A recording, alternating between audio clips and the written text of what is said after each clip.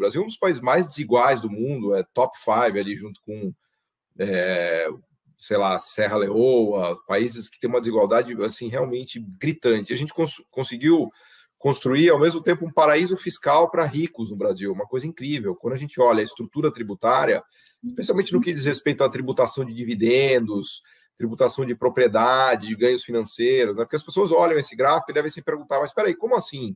Como que os ricos não pagam imposto? Eles não pagam imposto porque a fonte, maior fonte de renda deles é praticamente isenta de impostos. Essa é, essa é a grande questão. Né? Então, o desenho tributário nosso está feito de um jeito que tornou o Brasil um paraíso fiscal. Né? Para quem é bilionário, não existe melhor lugar do mundo né, do que talvez o Brasil para ter a residência fiscal. Né? Então, isso mostra a prioridade do nosso governo, né, do Estado brasileiro, como disse o André, que ao invés de inverter é, a roda, a engrenagem, esse mecanismo ultraconcentrador de renda que a gente tem no Brasil, ele acaba fortalecendo, né, ele acaba, é, vamos dizer assim, é, robustecendo essa estrutura absurdamente desigual que a gente tem. Ninguém mais poderia reverter essa engrenagem que não o Estado brasileiro. O Estado brasileiro, ou qualquer Estado, é a única entidade, organização capaz de reequilibrar um sistema produtivo no sentido de dar mais oportunidade para as pessoas, é, principalmente a, a, a, partir de tributação. Aliás, isso se faz no mundo rico, né? Se a gente olhar Estados Unidos, é, Reino Unido, essas pessoas aí no gráfico do André pagam 40%, 50% do que elas ganham, né?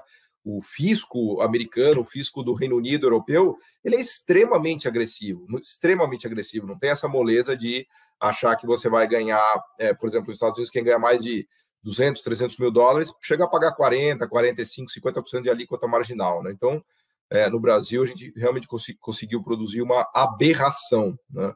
E nesse momento de pandemia fica ainda mais dramático isso, né?